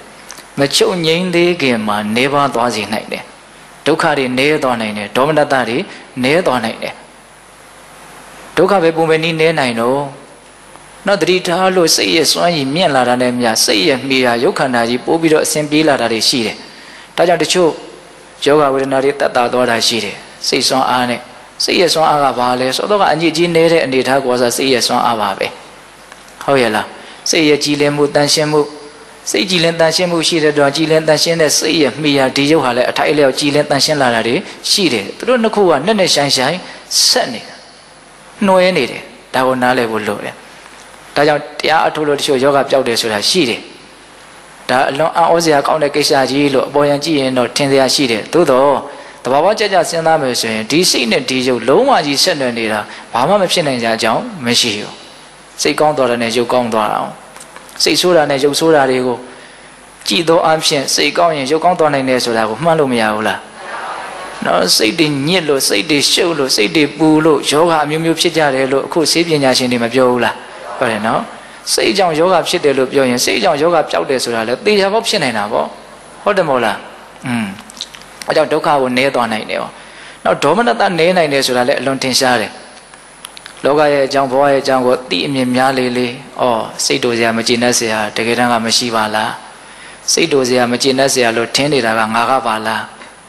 ကွက်ကွက်ပြားပြားမြင်လားနော်အစကနဦးမှာတော့ဒင်းကိုအစားစိတ်တို့ရတော်တော်ကောင်းတယ်သူများကြီးပုံချနေတာဟုတ်လားကိုဒေါသဖြစ်တဲ့ကိစ္စကိုကိုအသုံးမကျတာကိုနည်းနည်းမှမမြင်ဘူးဟုတ်လားအဲ့ဒီလူအဲ့ဒီလိုဖြစ်အောင်လုပ်လို့ငါအဲ့လိုဖြစ်ရတယ်ဆိုတော့ဒါအကိုညံ့တာကြီးပိုးပြီးတော့တောင်ဘောလုံးကြီးပေါ်လာသေးတယ်ဟုတ်တယ်မဟုတ်လား तू ကအဲ့လိုလုပ်တာနဲ့ကိုကဘယ်နဲ့ကြောင့်အဲ့လိုဖြစ်ရတာ ကိုကိုကိုဘာမှမချုပ်နိုင်ဘူးမကင်နိုင်ဘူးမထိန်နိုင်ဘူးမသိမ်းနိုင်ဘူးဟုတ်တယ်မဟုတ်လားတကယ်ဆိုလို့ရှိရင် तू ကဘယ်လိုနေနေကိုလည်းကိုကိုကြည်မှန်းချက်လေးနဲ့ကိုကြိုက်တဲ့ပုံစံလေးနဲ့နေနိုင်ရင်ပို့ပြီးတော့စွမ်းအားရှိတယ်လို့မဆိုနိုင်ဘူးလားခုတက္ကရာမဦးဇင်းတို့ကကိုကြိုက်တဲ့ပုံစံနဲ့ကိုကကိုမနေနိုင်ဘူးသူကဒေါသဖြစ်တယ်ဖြစ်အောင်လုပ်ပြန်ဒေါသဖြစ်ကိုဖြစ်ရတာအဲ့တော့ကျုပ်ကဘာတော့တော့ပြီးတော့အမှတ်ရအောင်ဆိုတော့နော်အစတန်တဲ့လူနဲ့ဟဟုတ်လား အလွန်မိုက်မဲတဲ့ကလေးအဲ့ဒီနှစ်ယောက်ကိုသွားသွားပြီးတော့မြင်တယ်ကလေးကလည်းအမိုက်ဆိုတော့စလို့စမှမသိဟုတ်လားတကယ်ဆိုလို့ရှိရင်ဒုက္ခရောက်တယ်ဆိုတာစတာပဲလေဖို့လို့ကဒါပေမဲ့ကလေးကစတာလို့ तू သိလားမသိဘူးအဲ့တော့ तू ကဘာတင်တော့စိတ်တူတာပေါ့အဲ့တော့စိတ်တူရတဲ့ကိစ္စမှာတော့စတာကိုစာမမသိတာတကယ်တမ်းကဘာလဲအပြစ်ပေါ့ဒီကလေးရဲ့ညံ့ဖျင်းမှုပေါ့တော့ကလေးတိုင်းစိတ်တူသလားမတူပါဘူးတချို့ကလေးကလူရည်လဲတယ် ဟောစနေတာလို့သိတယ်သိတော့စိတ်မတူစတာကတော့အတူတူပဲခံရတယ်သို့တော့တယောက်ကစိတ်တူတယ်တယောက်ကစိတ်မတူဒါဥစဉ်မြင်မိတဲ့ဥပမာပေါ့နော်အဲ့လိုပဲဘဝမှာအာယုန်တွေရဲ့ကြည်စားမှုလောကရန်တရားတွေရဲ့နော်အစအနောက်တန်မှုတွေကိုကြုံရဆုံရတာတွေမရှိနိုင်ဘူးလားကိုယ့်အကိုစိတ်တူတယ်ဒါပေမဲ့ကိုယ့်ကိုအပြစ်တင်ရမှာမသိဘူးဟုတ်လားအဲ့တော့ကိုကတတိပဒံတရားကိုအထုံးလို့ကိုအကြောင်းလဲကိုအထိုင်လျောက်သိလာတယ်သူတို့ကအကြောင်းတွေလဲ သိမှာပဲနော်ကိုနဲ့သူနဲ့ဘာမှထူတာမဟုတ်ဟုတ်လားကိုအကြောင်းကိုသိရင်သိသလောက်သူများအကြောင်းလဲသိနိုင်တယ်ဒီလူလူမျိုးတွေကြီးပဲလို့အကျဉ်းချင်းပြောလို့ရတယ်ဟုတ်လားဒီလိုပဲဒီလိုစိတ်ပေါ်ရင်ဒီလိုပြောတယ်ဒီလိုခံစားတယ်နော်ကိုအကြောင်းသာကိုသာခေစီတွင်းကြသိအောင်လုပ်သူများအကြောင်းလဲသိနိုင်အဲ့လိုသိတာမြင်တာတွေများလာရင်တောင်းတန်ယုံကိစ္စကသူ့အနေနဲ့စိတ်တူစရာလို့မထင်တော့ဘူးစိတ်တူစရာလို့မထင်တော့စိတ်ကတူလို့ကိုမရတော့ သူဘလောက်စိတ်တူစရာကြီးဖြစ်လို့နေနေနားလေတယ်နော်နားမလဲလို့အားလို့မတူတာမဟုတ်အယံကိုလူရည်လဲသွားလို့မတူတော့တာသဘောပေါက်ရဲ့လားအကိစ္စတိုးနေမတော့တူတူလည်းပဲသူကကိုဖြစ်ချင်းလူကြီးဖြစ်သွားတာလည်းမဟုတ်ဒီစိတ်တုံနေတဲ့အကြောင်းအကြောင်းလည်းပဲဒီပြဿနာကဘာမှပိုးပြေလဲသွားတာလည်းမဟုတ်ဟုတ်လားပိုးပြီးတော့တောင်ပြဿနာကဆိုးလာအောင်မယ်ကိုစိတ်တုံရင်သူသူ့စိတ်တို့ကိုပိုးဆွပြီးသလိုတောင်ဖြစ်သေးတယ်ဟုတ်လားဒီကိစ္စကဘလုံးမှပြဿနာကိုမပြေလေစေတဲ့အနေထားပဲဟုတ်လား ဒါကြောင့်ဒီစိတ်တူတဲ့ဒေါသဖြစ်တဲ့ကိစ္စရဲ့နော်အကျိုးမဲ့ပုံမဖြစ်သင့်ပုံတွေကိုပို့ပြီးတော့နားလေတဲ့အတွက်ကြောင့်တတိပဋ္ဌာန်တရားအထုတ်တဲ့လူဟာဒေါသမဖြစ်သွားနေသွားအဲ့မှာဒေါမနတဝေဒနာလည်းမနေပေဘူးလားနေမယ်နော်ဒါကဦးဇင်းတို့ဒုက္ခဒေါမနတမချုပ်ငြိမ်းသေးခင်မှာဒုက္ခဒေါမနတနေသွားနိုင်တယ်ဆိုတာလေးကိုစဉ်းစားဖို့ဟုတ်လားနောက်တစ်ဆင့်ထပ်ပြီးတော့လျှော့ပြီးတော့ပြောဦးမယ် နော်တတိပဋ္ဌာန်တရားကိုအားထုတ်လို့ရှိရင်ဒုက္ခဒေါမနတတွေမနေစေအောင်တော့နေလောက်အောင်အာမထုတ်နိုင်သေးဘူးဆိုရင်တောင်အဲ့ဒီဒုက္ခဒေါမနတကိုအစဉ်ပြေပြေရင်ဆိုင်နိုင်တဲ့အည်သွေးကိုလည်းရနိုင်သေးတယ်ဟောအဲ့ဒါလည်းတွေးစီခြင်းသေးတယ်ဦးဇင်းကဒုက္ခတွေကြုံရလိမ့်မယ်ဒေါသဖြစ်စရာတွေလည်းကြုံရလို့တခါလေဒေါသလည်းဖြစ်လိမ့်မယ်ကိုဒေါသဖြစ်တာကိုပြန်ပြီးတော့ဒေါသထပ်ပြီးတော့တခါလေဖြစ်တာရှိသေးရဲ့နော်ဒေါသဖြစ်တာကိုပဲဘယ်လိုဖြစ်နေလဲဒေါသထပ်ဖြစ်နေတယ်အဲ ဒေါသဖြစ်တာကိုမခံနိုင်ဘူးလို့ဖြစ်နေသေးတယ်တခါလေစိတ်တူလို့ကိုစိတ်တူနေတာရှိတယ်နော်စိတ်တူလို့ကိုစိတ်ကတူတာငါစိတ်တူအောင်ဒင်းကလုံနေတာဆိုပိုးတောင်တူသွားသေးတယ်စိတ်ကဟုတ်လားကိုကကိုလည်းစိတ်တူတယ်တခါလေစိတ်တူတာတွေကခြားခြားလဲပြီးတော့ထွက်ပေါက်မရှိဘူးဟုတ်ရလားအဲ့တော့ကိုကတတိပဋ္ဌာန်တရားအားထုတ်လို့ရှိရင်အဲ့ဒီဒုက္ခဖြစ်တာတွေစိတ်တူတာတွေကိုလည်းဘာဖြစ်တော့နည်းနည်းတော့ဘိုးနားလေလာရင်ဆိုင်နိုင်လာတယ်ပေါ့ဟုတ်လား အဲ့တော့ဦးဇင်းတို့ပြည်သက်ပေါင်းတို့ကောင်လို့တတိပဋ္ဌာန်ဘုရားရဲ့ဂုံကျေးဇူးကတစ်ခုတစ်ခုကိုပြောမယ်ဆိုရင်နေပေကအလွန်မကျယ်ဘူးလားကျယ်တယ်ကိုဘာပြောထားတော့ဒုက္ခဒေါမနတနာအထင်ကမာယတော့ကိုဆင်းရဲမှုဒုက္ခစိတ်ဆင်းရဲမှုဒေါမနတဒါတွေကိုဘာလို့သွားတယ်ချုပ်ငိမ့်သွားစေလိမ့်မယ်အဲ့ဒီထီတော်မြတ်စွာဘုရားပြောတာနော်အဲ့ဒါဘယ်နှပါးရှိပြီတော့၅ပါးရှိနော်နှစ်ပါးတွဲနှစ်ခုဖြစ်နေဟုတ်လားပြောတာတော့သုံးငါပဲပြောတာဆိုတော့နော် စိတ်ကြည်လင်တန်ရှင်းပဲတောကပရိဒေဝချုပ်ကြော်လွှားသွားနိုင်လိမ့်မယ်ဒုက္ခဒေါမနတချုပ်ငိမ့်သွားလိမ့်မယ်ဟုတ်လားနောက်ဦးဇင်းတို့ဆက်ပြီးတော့ပြောမှာကဘာတော့ညာယတ္တအဓိကမာယနိဗ္ဗာနတ္တပစ္စည်းကိရိယာယညာယတ္တအဓိကမာယဆိုတာ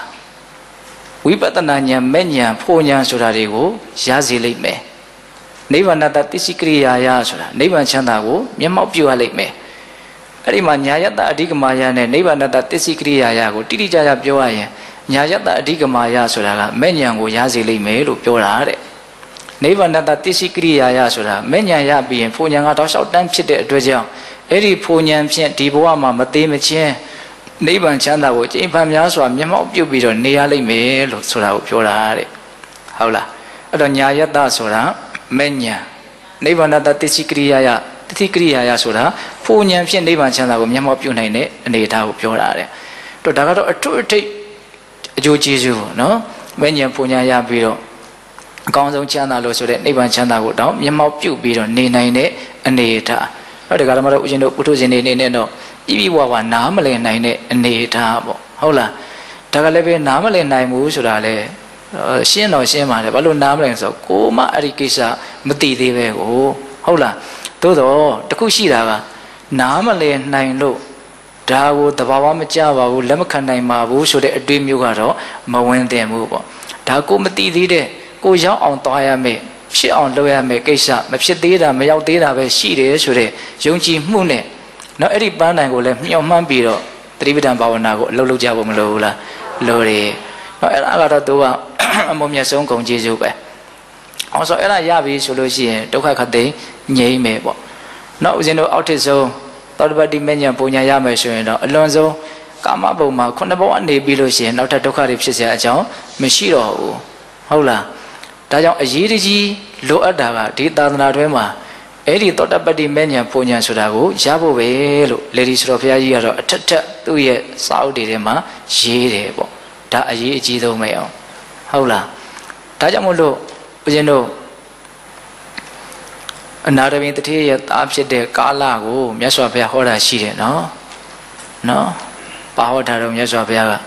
ပထဗျာဧကရိစေနတက္ကတကမဏေနပါတပ္ပလောကဓိပစ္စေနသောတာပတ္တိဖလံဝရံနော်ပထဗျာဧကရိစေနဟောဒီမြေပြင်ကြီးတစ်ခုလုံးကိုတယောက်တည်းအစိုးရရတဲ့ဧကရေမင်းကြီးဖြစ်ရတာတ၎င်း ပထဗျာဧကရိစေနတက္ကတကမဏေနပါအလွန်ချမ်းသာလာတယ်လို့ဆိုတဲ့နတ်ရွာလောကကိုရောက်ရတာတ၎င်းတပ္ပလောကဓိပစ္စေနအလုံးစုံသောလောကကြီးကိုအစိုးရရတာထက်၎င်းသောတာပတ္တိဖလံဝရသောတာပတ္တိမဉ္ဇဉ်ဖူဉ္ဇဉ်ကိုရခြင်းကတာလုံးပြီးတော့မွန်မြတ်တယ်လို့မြတ်စွာဘုရားဟောတာ။ဟောဆိုသူ့ရဲ့အနာဂတ်ကြီးကဘာမှစိတ်မအေးစရာမရှိတော့ဘူး။ဟုတ်ရဲ့လား။ဟိုပြောရလို့ရှိရင်ဒီဖြစ်ပေါ်နေတဲ့သဘာဝတရားတွေကအ နိစ္စမီးရဲ့အစာတွေကြီးပဲအကုန်လုံးက။ဘာဖြစ်တယ်လို့ပဲပြောပြောအဲ့ဒါတွေကအပေါ်ယံနေပဲတကယ်တည်းကအနိစ္စမီးလောင်တာကြီးပဲအကုန်လုံးက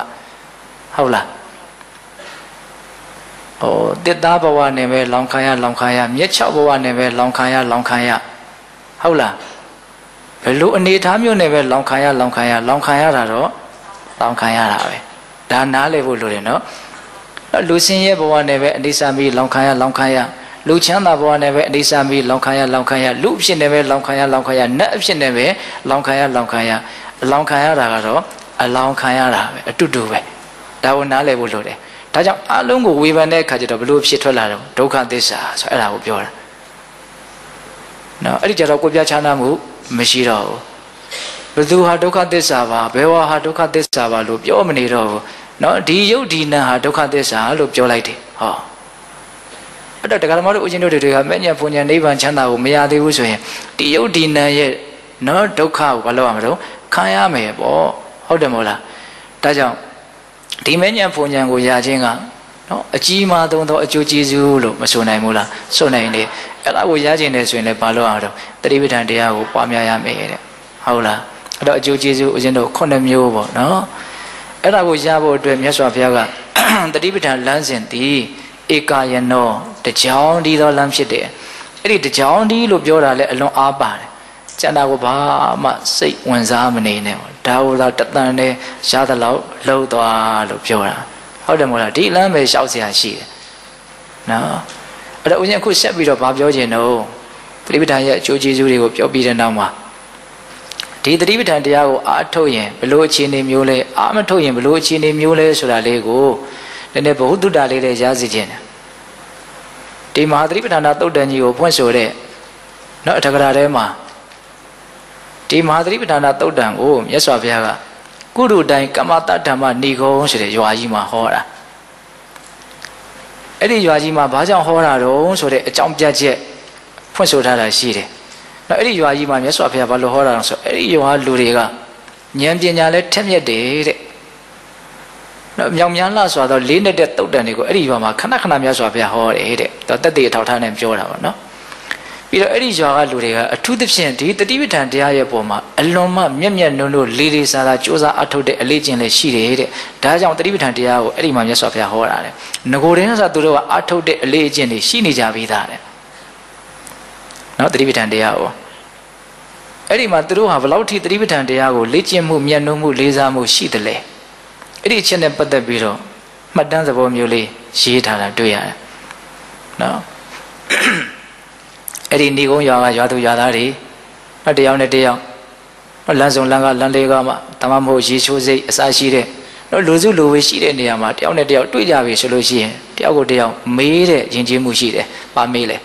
။မင်းတို့တတိပဋ္ဌာန်တရားနဲ့ပတ်သက်ပြီးတော့ဘယ်တတိပဋ္ဌာန်တရားကိုများအထုဖြစ်တယ်လေလို့မေးတယ်တဲ့။အဲ့ဒါလိုမေးလိုက်လို့အမေးခံရတဲ့လူက ငါတော့ကွာလုပ်ငန်းတွေမှာအမလတ်တာနဲ့ဘယ်တတိပဋ္ဌာန်မကိုအမထုတ်ဖြစ်ပါဘူးလို့အဲ့ဒါလိုမြန်ပြောခဲ့မယ်ဆိုရင်တော့အဲ့ဒါသူ့ကိုဝိုင်းပြီးတော့ကဲ့ရဲ့ကြတယ်တဲ့။အဲ့ဒီကဲ့ရဲ့တဲ့စကားကိုအဲ့ဒီမှာနှခွန်းပြောတယ်အဲ့ဒါကတော်တော်စဉ်းစားတဲ့အကောင်းတတိပဋ္ဌာန်တရားကိုငါအထုတ်ဖြစ်တယ်ဟေ့ဘယ်တတိပဋ္ဌာန်တော့ငါအထုတ်ဖြစ်တယ်အဲ့လိုမျိုးပြောမယ်ဆိုရင်တော့ဝိုင်းပြီးတော့ချီးမွမ်းကြတယ်တဲ့အဲ့ဒီချီးမွမ်းတဲ့စကားကိုတော့သုံးခွန်းပြောထားတယ်အဲ့ဒီထဲမှာအဲ့ဒီစကား၅ခွန်းကိုဦးဇင်းကနည်းနည်းစိတ်ဝင်စားရတယ်ပေါ့နော်သူတို့ပြောလဲပြောတတ်တယ် အဲ့ဒါကိုကြည့်ပြီးတော့သူတို့ရဲ့ဒီတတိပဋ္ဌာန်တရားရဲ့ပုံမှာဒီမြတ်စွာဘုရားရဲ့အဆုံးအမရဲ့ပုံမှာဘလောက်သူတို့လေးလေးနက်နက်သက်ဝင်ထားသလဲဆိုတာကိုလည်းသိနိုင်တယ်ဟုတ်လားအဲ့ဒါဦးဇင်းတို့တတိပဋ္ဌာန်တရားကိုအာမထုတ်ဖြစ်ပါဘူးဆိုတဲ့လူကိုဘလို့ကဲ့ရတော့တဲ့ဒီရထုတဝဇီဝိတံနံပါတ်1စကားလေနော်ဒီရထုတဝဇီဝိတံတဝတဲ့ဤဇီဝိတံအသက်ရှင်တန်ခြင်းသည်ဒီရဒီရထု ဆက်စုပ်ယွန်ရှာဝယ်ကြီးပါတကားတဲ့နော်မင်းရဲ့အသက်ရှင်တန်ခြင်းဟာယွန်စရာကောင်းလိုက်တာလို့ပြောတာတဲ့တော်တော်ခံမြင်စရာပဲနော်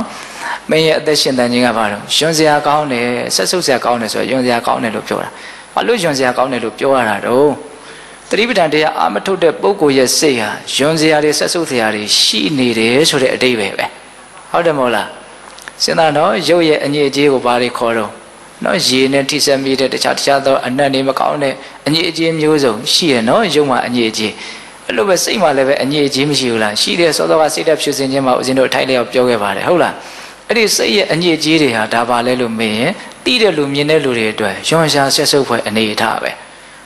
ပြောလို့သာပြောတာဒီဟာတွေကစကားတွေအနေနဲ့သာအခုမှကြားပြီမလို့စိတ်ကူးအတွေးတွေအနေနဲ့ခံစားချက်တွေအနေနဲ့အားလုံးသောလူတွေမှာရှိပြီးသား လောဘဒေါသအားကြီးတယ်ဆိုရင်ယွန်းတယ်ဆိုတဲ့ခံစားချက်ရှိတယ်နော်တချို့ဘလို့ဖြစ်ဖြစ်သွားတော့မုန်းတယ်ဆိုတာမျိုးထိတောင်ဖြစ်သွားတာရှိတယ်ယွန်းတယ်ဆိုတာလေးကမှနည်းနည်းတက်တာသေးတယ်ဟုတ်လားနော်အဲ့တော့သူတို့ပြောတာအဲ့တိုင်ပြောတာသင်ရဲ့အသက်ရှင်တန်ခြင်းဟာယွန်ရှာဆက်စုပ်ဖွယ်ဖြစ်တယ်တဲ့ဒီရထုတဝဇီဝိတံမင်းရဲ့အသက်ရှင်တန်ခြင်းဟာဘာတန်ဖိုးမှမရှိဘူးဘာမျက်နှိုးစရာမှမကောင်းဘူးလို့ပြောတာဘာပြုလို့တော့အကြောင်းပြချက်လည်းနားလည်ဖို့လိုတယ်နော်စိတ်ဓာတ်တွေညှဉ်းနှွမ်းမှုတွေများနေတော့ ဟုတ်တယ်သတိမရှိဘဲနဲ့နေတယ်အဖြစ်တယ်လို့နေမယ်အာယုန်နေကြတယ်ဖြစ်တယ်လို့နေမယ်ဆိုရင်တော့သိကြတယ်နော်လောဘဒေါသမောဟတွေတဖြည်းဖြည်းနဲ့များလာဖို့ပဲရှိတယ်ဒါကြောင့်ဦးဇင်းကစဉ်းစားတယ်နော်အသက်ကြီးသွားတာနဲ့အလိုလိုရင့်ကျက်သွားဖို့ဆိုတာဘလို့မှမဖြစ်နိုင်တဲ့ကိစ္စပဲနော်အသက်ကတူတူကြီးသွားလေကိုဘာမှမကြိုးစားဘူးတချို့ကြီးသွားလေလေအိုးဆိုးလာလေတယ်ဟုတ်တယ်မလားဒါပဲလေ तू ကောင်းအောင်မလို့ရင်ဆိုးမှာပဲလေဒီဥစ္စာက तू အဖြေရဒီနှစ်ခုပဲရှိတာ ဟုတ်တယ်မဟုတ်လားကိုယ့်ကိုဖြူရှင်အောင်လုပ်မလားဖြူရှင်အောင်မလုပ်ဘူးဆိုရင်ညင်နှောအောင်ကတမင်လို့ဆရာမလို့ဖြူရှင်အောင်မလုပ်ဘူးဆိုတာကိုကစားညင်နှောအောင်လုပ်နေရရောက်တယ်ဒါကိုလက်ခံရလားမသိဘူးအဖြူရှင်အောင်မလုပ်ဘူးဆိုတာကိုကညင်နှောအောင်လုပ်နေရရောက်တယ်တမင်လုပ်တာတော့မဟုတ်သူ့သူဖြစ်နေသဘောပေါက်ရလားအေးဒါကြောင့်သတိပဋ္ဌာန်ဘာဝနာနဲ့ကင်းပြီးတော့နေတဲ့ပုဂ္ဂိုလ်ကိုမင်းဘဝရဲ့ရှင်တန်ခြင်းဟာအလွန်ရောရှာဆွဆုဆရာကောင်းတယ်လို့ပြောတယ်တဲ့ဒါနံပါတ်1သူတို့ရဲ့ကဲရဲ့ရှုံချတဲ့စကားအောင်နောက်နံပါတ်2ကဲရဲ့ရှုံချတဲ့စကားဘာပြောတော့ ဇီဝမာနာပိတွန်မတတတိတာ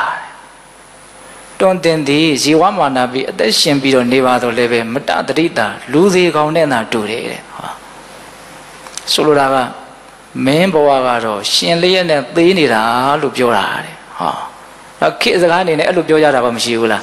ရှိရနော်မင်းဘဝကတော့ကွာရှင်လျက်နဲ့သေးနေတာပါတော်တော်စိတ်ပြက်စရာကောင်းတဲ့အနေအထားမျိုးဆိုရင်အဲ့ဒီစကားမျိုးသုံးကြတယ်နော် အဘကတော့ကွာရှင်လျက်နဲ့သေးနေတာပါတော်တော်တောင်တနာစရာကောင်းတယ်ဟုတ်လားတချို့အဲ့လိုပြောကြတာမရှိဘူးလားရှိတယ်နော်ရှင်လျက်နဲ့သေးနေတာဘာရှင်တန်မှုမှမရှိဘူးအဲ့တော့ဒီနေရာမှာသေတယ်ရှင်တယ်ဆိုတဲ့စကားအများကြီးစဉ်းစားတယ်ရှိလားတစ်ပင်တစ်ပင်သေသွားတယ်တစ်ပင်တစ်ပင်ရှင်းနေတယ်ဆိုတာလေးနဲ့ဥမာလေးလဲစဉ်းစားကြည့်ပါကြည်ပွားနေတယ်တွတ်တက်နေတယ်ဒါပါလေရှင်းနေတယ်ပေါ့ ဟဟုတ်လားကြည်ပွားတွတ်တက်မှုဆုပ်ယုပ်ပြီးတော့နောက်ဆုံးအကိုင်းကြောက်တွေပါလေနဲ့ဆွေးမြေပြီးတော့သွားပါတေးသွားပြီလူဘဝမှာလည်းပဲကောင်းသောတွတ်တက်ခြင်းကြီးပွားခြင်းမရှိဘူးဆိုရင်သေးနေတာပဲတော့အသက်တော့ရှူကောင်းရှူနေမယ်ပျော်ပျော်ဆိုဆိုတော့နေကောင်းနေမယ်ဟုတ်လားဒါပေမဲ့ဘာမှကောင်းတာမွန်တာတွေတွတ်တက်လာတာကြီးပွားလာတာမရှိဘူးဆိုရင်အဲ့ဒီလူရဲ့ဘဝဘာဖြစ်နေတော့သေးနေပြီဟုတ်တယ်မဟုတ်လားအဲ့တော့သေးတယ်ရှင်တယ်ဆိုတာကောင်းမြတ်တာတွေတွတ်တက်မှုကြီးပွားမှုမရှိတာကိုအဓိကရည်ညွှန်းတာ ဒါကြောင့်မင်းဟာအသက်ရှင်နေပြီမလို့လူသေးကောင်းတဲ့သာတူတယ်ဆိုတာအဲ့ဒါကိုပြောတာတဲ့ဟုတ်လားဘုရင်တို့ဒီစကားလေးကိုအပမတော်အမတံပဒံပမာတော်မစ္ဆုနောပဒံဆိုတဲ့စကားလေးနဲ့နှိုင်းရှင်ပြီးတော့စဉ်းစားကြည့်တဲ့အဲ့ဒီစကားလေးကြတော့လူတိုင်းသိရနော်အပမတော်အမတံပဒံပမာတော်မစ္ဆုနောပဒံအပမတော်တတိနဲ့နေခြင်းသည်အမတံပဒံမတရားနိဗ္ဗာန်ရခြင်းဤအကြောင်းတည်း ပမာတော်မစ္ဆုနောပဒံတတိမရှိဘဲနဲ့နေခြင်းသည်အဖန်ဖန်တရားခြင်းဤအကြောင်းတည်းဒီလိုပြောတာရှိတယ်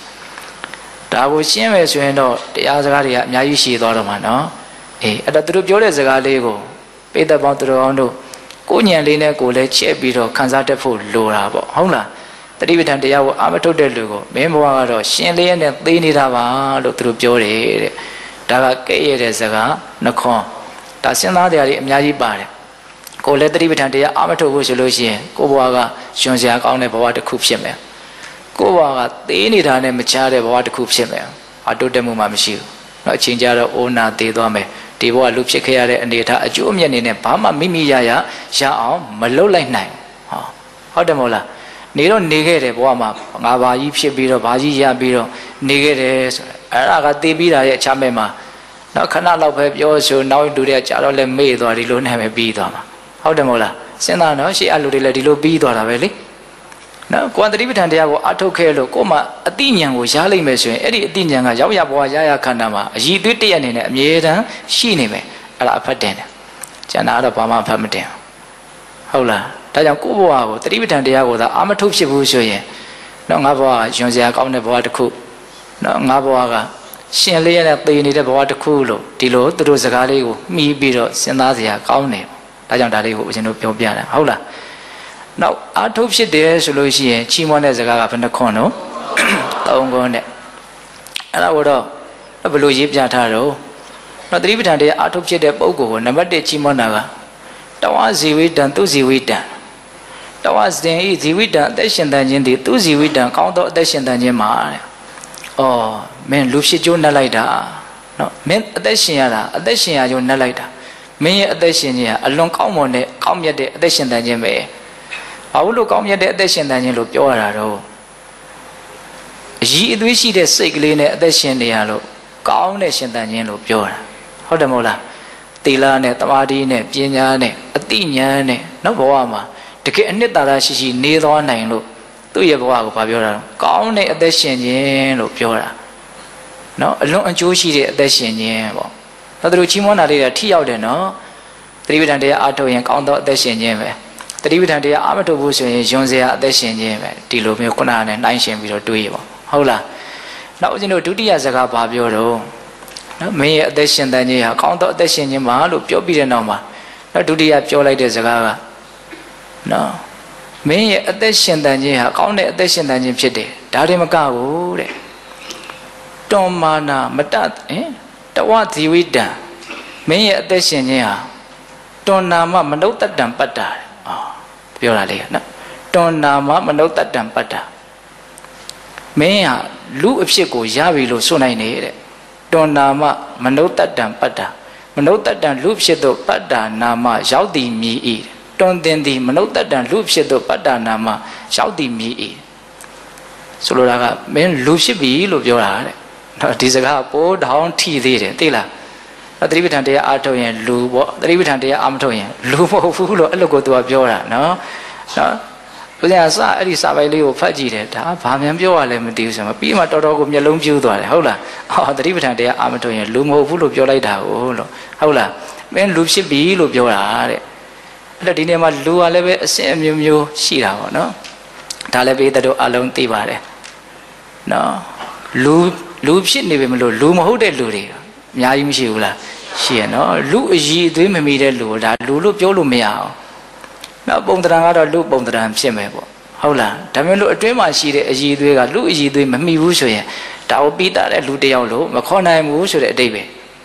ဒါလူတိုင်းလူတိုင်းကတော့အဲ့လိုသွားပြောလို့ပဲရမှာလို့နော်သို့တော်လည်းပဲကိုယ့်ရဲ့အတွေ့ထဲမှာအဲ့ဒီအနေအထားကိုလူတိုင်းလက်ခံနိုင်ပါတယ်ဟုတ်လားအဲ့ဒါသူတို့ပြောတဲ့စကားလွန်တော့မလွန်ပါဘူး နော်သတိပဋ္ဌာန်တရားအာထုတ်ပြီးဆိုတော့မှမင်းလူဖြစ်ပြီလို့ပြောတာတဲ့နော်လူဖြစ်ကျိုးနဲ့တယ်ဆိုတာကိုလည်းပဲဒီနေရာမှာထည့်ပြီးတော့ပြောမယ်ဆိုရင်လည်းပြောနိုင်တယ်ပေါ့နော်။အဲပြီးွားတဲ့လူတယောက်အည်သွေးမိတဲ့လူတယောက်ဖြစ်တယ်ဆိုတဲ့အဓိပ္ပာယ်ကိုဆိုလိုတာပါ။ဟုတ်ရဲ့လား။အေးနောက်ဆုံးပြောတဲ့စကားချီးမွမ်းစကားကဘာလဲ။နောက်ဆုံးချီးမွမ်းတဲ့စကားတဝဋ္ဌာယတမ္မာတံဗုဒ္ဓဥပ္ပန္နောနော်တဝဋ္ဌာယ တဝအဋ္ဌာယသင်ရဲ့အကျိုးစီးပွားအလို့ငါတမ္မာတံဗုဒ္ဓမြတ်စွာဘုရားရှင်ကိုရမြတ်ကြီးသည်ဥပ္ပန္နောပွင့်တော်မူလာတာပဲတဲ့မင်းအကျိုးစီးပွားရှိဖို့အတွက်ဘုရားဆိုတာပွင့်လာတာပါလို့ပြောတာတဲ့ဒါလည်းပဲတော်တော်ထိတဲ့စကားပဲနော်တတိပဋ္ဌာန်တရားကိုသာအမထုတ်ဘူးဆိုရင်ဘုရားပွင့်လာတာကိုအကျိုးစီးပွားရှိဖို့ပွင့်လာတာမဟုတ်ဘူးဘုရားပွင့်လာတာကိုနဲ့ဘာမှမဆိုင်ဘူးဆိုတဲ့အဓိပ္ပာယ်မျိုးတက်ရောက်သွားတယ်ဟုတ်တယ်မဟုတ်လားမင်းအကျိုးစီးပွားရှိဖို့အတွက်ဘုရားပွင့်လာတာပါ တကယ်တကယ်စဉ်းစားကြည့်ရင်လည်းပဲမြတ်စွာဘုရားပွင့်လာတယ်ဆိုတာတတ္တဝါတွေကိုတန်တရားဝိတုခကလွတ်မြောက်ဖို့အတွက်နိမန်လက်မှန်ကိုပေးဖို့ပွင့်လာတာပဲအဲ့ဒီနိမန်လက်မှန်ကိုမြတ်စွာဘုရားပေးခဲ့တာပဲသို့တော့အဲ့ဒါကိုကိုကနိမန်လက်မှန်မကြင့်ကြံဘူးဆိုလို့ရှိရင်ဘုရားပွင့်လာတာဘုရားအဲ့ဒါတွေဟောခဲ့ရတာကိုယ့်အတွက်မဟုတ်ကိုမှမလုပ်ဘဲနဲ့အဲ့ဒါကိုယ့်အတွက်မဟုတ်လောကကြီးအတွက်ကတော့အကျိုးရှိတယ်ဒါပေမဲ့ကိုကအဲ့ဒီအကျိုးရှိတဲ့လောကကြီးထဲမှာကိုမပါသဘောပေါက်ရဲ့လား နော်ဆိုရပါစို့အကျိုးရှိတာတွေကိုအလုံးဝေငှပြီးတော့ပေးတဲ့လူတွေအလုံးကိုရတယ်လူရတယ်မရတဲ့လူမရလူတွေအလုံးကိုပေးတော့ပေးလိုက်တာဒါပေမဲ့ကိုကမရလိုက်ဘူးဆိုရင် तू ပေးတာထဲမှာကိုမပါဘူး